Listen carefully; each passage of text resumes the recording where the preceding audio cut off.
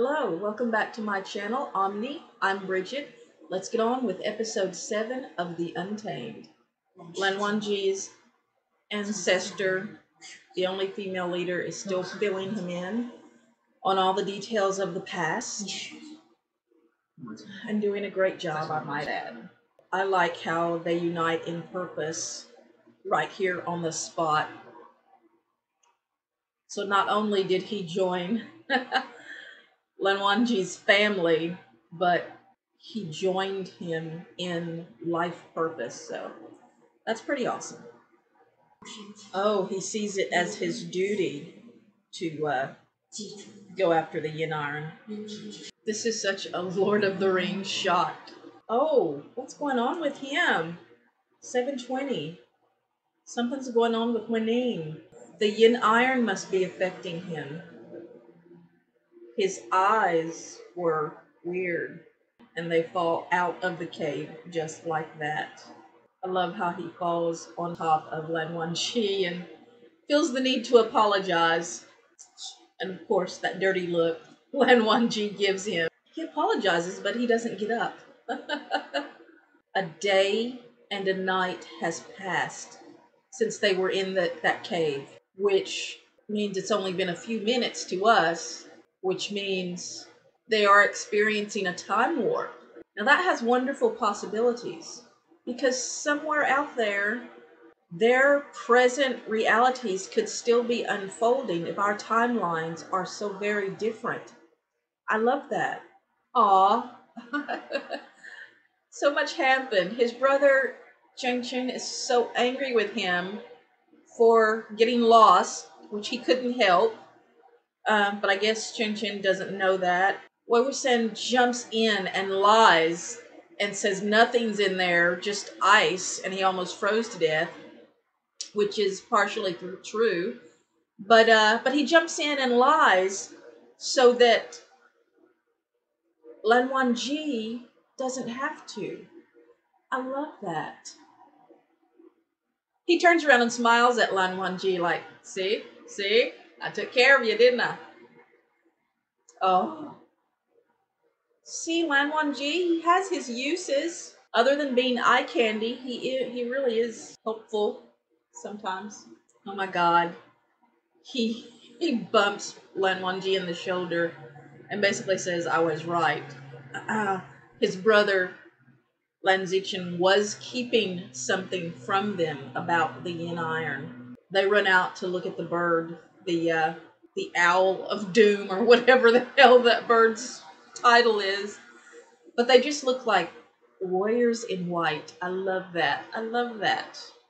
Warriors in white. Thought to put a deadly assassin in white, angelic white. To my culture, that's angelic. So I'm still giving them props and kudos for just creating such a lovely vision. It's really, it's really become larger than life for me.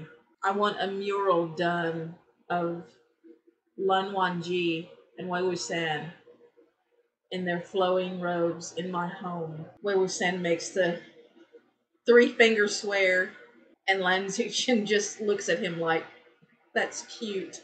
And of course, Lan Wangji has been silenced by his uncle. We'll talk about it later. And he's looks like he's taking it pretty hard. That's why he's so serious. He just you can tell somebody yelled at him when he was little too harshly one too many times and he just he just went inside. Lan Wangji has just watched Wei Wuxian tell Nie Huaisang, attempt to tell him what happened to them. Of course, he's making up a story and being silly, but I get the feeling that maybe at this point, Lan Wangji has to take Wei Wuxian seriously. Like, you know, like maybe he's thinking about him, catching himself thinking about him more than he normally might. You gotta respect a guy who can keep talking his way out of trouble. Oh my goodness.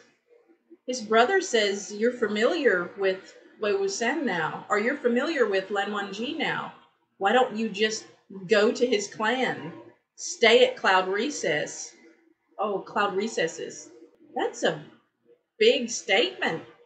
What is that? Jealousy? Is he jealous? Why would he just come out and say something like that? Ah, all his life, Wei Wuxian, he's been the center of Wei Wuxian's attention, probably, him and his sister. He's not used to a third party. Oh my goodness. Yeah, that can cause tension. They'll get through it, or they would have gotten through it. It's just what you go through. Lan Wangji was standing there listening to them the whole time. Oh my gosh. The writers and creators of this show want you to know that his mind and heart is on Wei Wuxian. It's like, yes, he is seriously having to deal with emotions, and this frame at 1645 is what you is all that we can show you of it. I love that there's so much going on behind that statuesque countenance.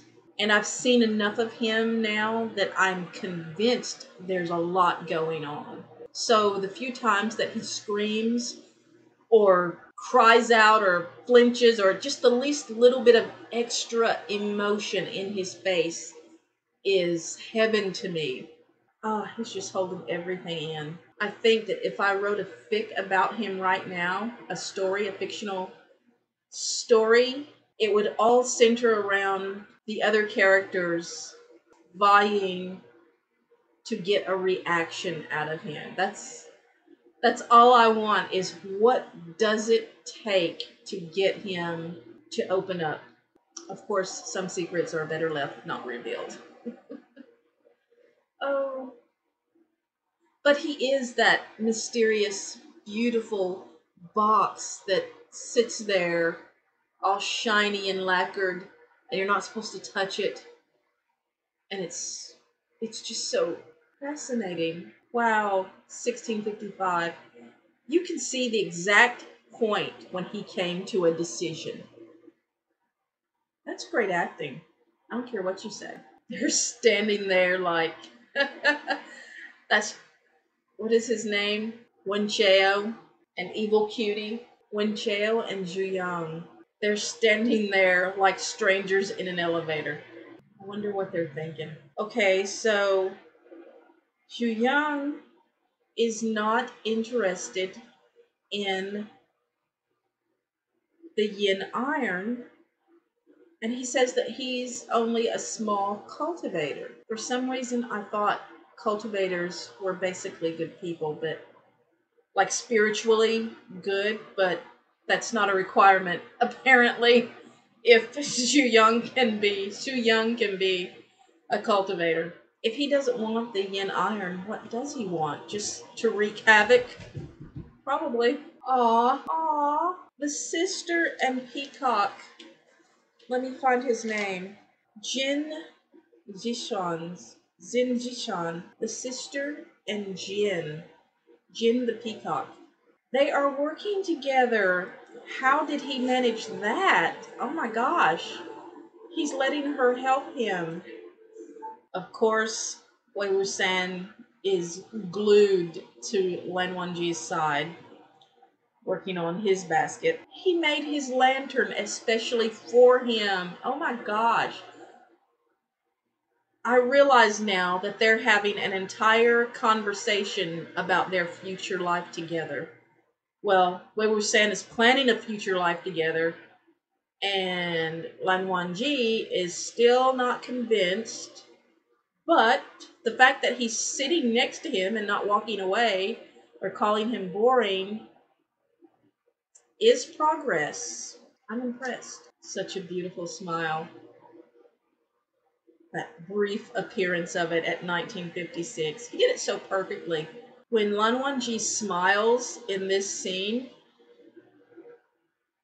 if there is a straight man in this world who thinks that that is not beautiful and attractive and desirable, he is lying his ass off to protect his perceived masculinity. That is beautiful. Anybody would be gay for that smile, for that oh, that awesomeness. That is as lovely, more lovely than anything on this planet.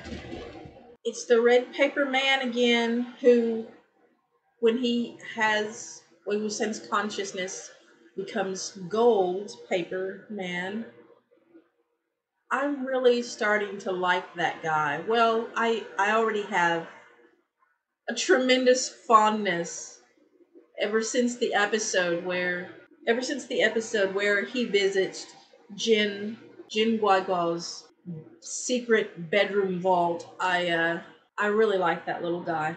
He's a great character because he's a little paper man. He's allowed to take liberties with Lan Wangji's headband and touching him that Wei Wuxian is not allowed to take. That was so cute. But I'm getting ahead of myself. Aw, it waves and bows. if that happened in our world, we'd be trying to smash it with a book. What the fuck? What the fuck is that? oh, that would be scary. Oh my goodness. For she says, As for my destiny, it's not up to me. That is the saddest thing in the world to me for someone to have that sense of helplessness. Girl, you still got your passion. That's your magic. It can make things happen. It really can. See, 3449, she tells him he's going to have a beautiful wife someday and he says, No, I want to stay with my sister. When siblings are that old and that close, of course that is so special. Of course, Jiang Cheng would not want Lan Wangji to come in between what he has with his brother and his sister. That would just feel often strange to him. That that new energy coming into the mix. But of course, we all know you have to let your siblings go on and live independent lives. So it's an uncomfortable lesson to learn, but we learn it. I love how they appear as perfectly well behaved siblings. Nothing has gone wrong when actually they have run the gamut. Well, Wei Wuxian has run the gamut as far as misbehavior is concerned. But now they, they just look like absolute angels. So obedient and respectful. Almost everybody in the show looks older because of their costumes. When you see them behind the scenes, they look so much younger. Even uh, the uncle, Lan Wangji's uncle, right there, looks probably 10 or 15 years younger. At least in the photograph that I saw of him behind the scenes. And Lan Xichen certainly looks, gosh, he looks really young. He look like maybe he's in his early 20s. But you never know with these immortal, supernatural, pseudo gods, whatever they are. And Lan Wangji appears just in time to he's not there to see him off, but it's coincidence that he's leaving at the same time they're leaving. Not really a coincidence, but a nice one anyway. I wish there'd been one shot of the servant or someone doing their hair. Just just so you can get an idea of what that routine would be like and how long it would take and how beautiful and elaborate it would be of course, they could get all those steps down in just five minutes and it would look perfect, but the hair, my goodness. Look! Whispering at Lan Wangji at the last minute, at the very last minute, he's being drugged out of there and he still has to whisper some words to Lan Wangji. This is a fun relationship. He even tries to eavesdrop at 3903 to hear what Lan Wangji's brother is saying to him at 3917, he says, his brother asks, he dislikes you so much. Why are you why are you still trying to talk to him? And Lan Wangji or Wei Wusan says, after spending half a year with him, can't I say goodbye? So they've been there six months. And who's to say that time, they measure time the same way that we would in our world. So it's just interesting to get some idea of how long they've been there. I was thinking a summer, like it was summer camp at Cloud Recesses, but I think they've been there quite a bit longer, which is pretty cool. You really get to see what life was like before all the other stuff happens. Okay, his brother is basically saying everyone must be happy to see you leave. And of course, ever optimistic Wei Wusan is saying, all of these people love me. They're going to miss me. wow, Jin Ching is not very supportive. He wasn't very supportive even before all this stuff happens. Is that that feels like it goes deeper than jealousy. I don't know what's going on there. Maybe it has something to do with with the love competition in his father's eyes, you know, because they flash back to when they were children. So maybe there's still some some competition for his father's affection going on there. Who knows? Just guessing. Oh my god, his brother will not give it up. He says, Let me ask you, why are you saying goodbye personally to Lan Wangji when there's all these other disciples? He, he for real is not letting it go. And Lan Wangji says, Can't I admire his talents? I want him to turn around and say, because he's mine. because we're together. You get the idea the brother already knows that. He's just, uh, face it, Jiang Cheng, you have lost Wei Wusan's affections to Lan Wangji. It, it was gonna happen sometime. He still loves you, but not in the same way. oh, he my my translation says Wei Wusan says he is my match. Nothing could be said plainer. I love how their uncle just laughs and shrugs off Wusan's antics. Let him be a child for as long as he can. That sounds silly now, but later when they're crying and you see they really are kids. They have not been tested by the world. They they really are kids. oh my goodness, I missed this before. Look who's standing there watching them depart. Look at that. Uh, see, it didn't matter to me before. So many scenes went by. Uh, I guess unmarked in my mind because they did not hold meaning at the time. But now that everything has so much more meaning, this is really a special scene.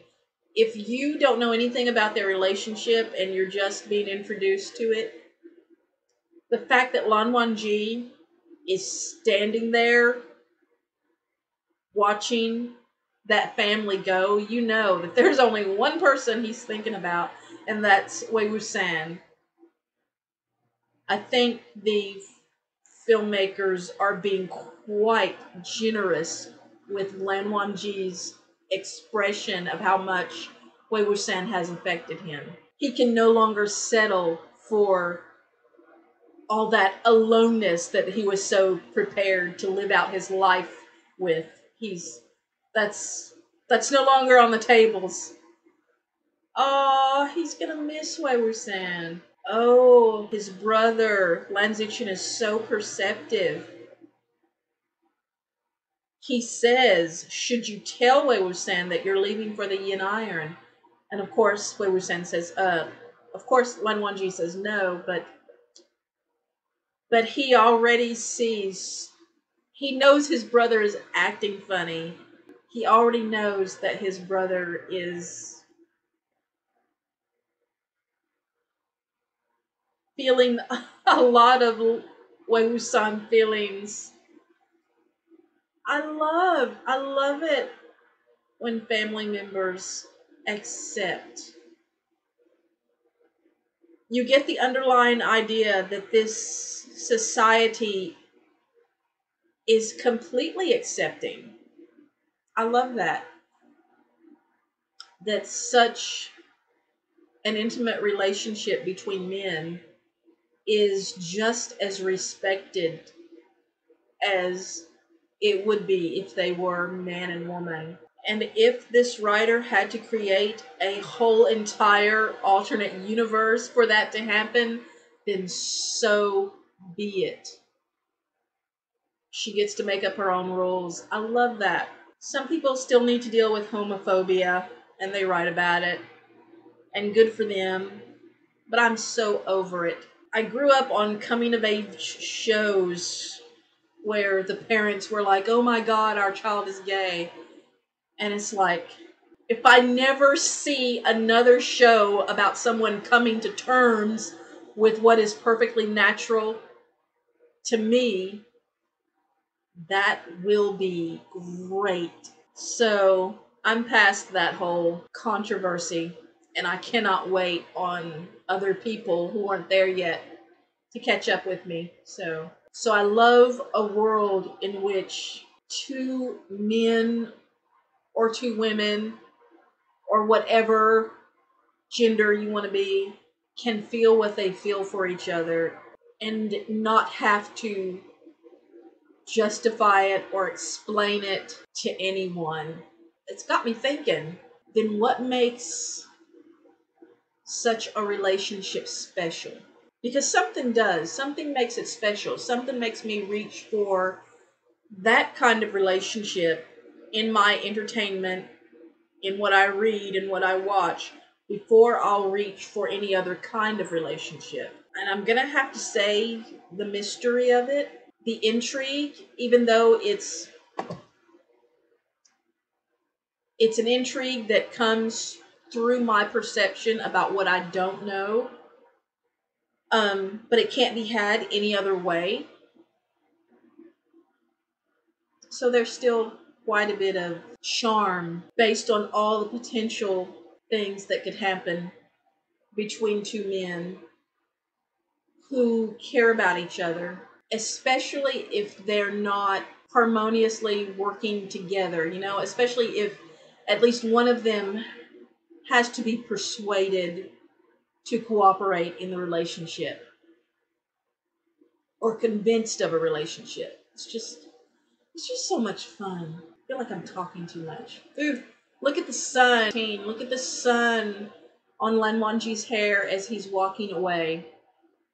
You know, I got to talk about how beautiful their hair is and their skin is and their lips are because so much consideration was taken with those wigs and things and their gowns and yet nobody says a word about them they're there to speak for themselves i guess but i am singing the praises of all that cathartic beauty. I know I keep using that word too much. Beauty. Be- everything is beautiful. But really, when I use that word, it's because I don't know any other better words. That word is so inadequate. I want to say it means so much more than just aesthetics. It goes so deeper. It feels so good. Think about an image. Think about an image that is absolutely disgusting. What's a disgusting image? Um, a can full of worms. Okay, picture a can full of worms. Now picture Lan Wangji's beautiful mouth. A mouth, lips that are so full and perfectly formed that you feel like you can see the beauty of his mother in those in those beautiful female looking lips. Because when I see a man with beautiful lips, I always think oh, I see his mother in him. I don't know why I do that. Well, I do know why, but it's fun. Anyway, but seriously, picture that. Now, one of those images makes you feel really good.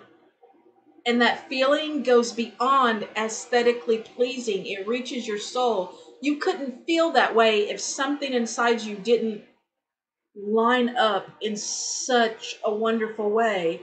Whereas the other image causes you to feel yuck. You feel that. That's not just that doesn't just stay on the screen or on the paper. It's you internalize it. So when I say something is beautiful, the energetic equivalent is far greater than what the eyes can see. It's it's a far greater appeal than anything aesthetic. It goes beyond beauty. I just in my humble vocabulary, I don't have the words to describe how awesome the sunset is in this shot as he's walking away. And maybe my reactions are too verbal. Like I, I talk about stuff too much and explain stuff too much. But if we're not here to talk about the wonderful brownish gold highlights brought out in Lan Wangji's hair as he is walking away with all of his robes flowing brilliantly in the sunlight, then I don't know why I'm here. I don't know what we're here for. So I have to talk about it. Bunny bunnies. Bunny bunnies. He's sitting with the bunnies. I want to hold those rabbits so bad. I'm thinking of visiting a pet store. He's talking to the rabbit, and he realizes that Lan Wangji is about to go off by himself in search of the yin piece, one of the yin pe- missing yin pieces. And that's it. It's over. That's it. That's all for episode seven. On to episode eight.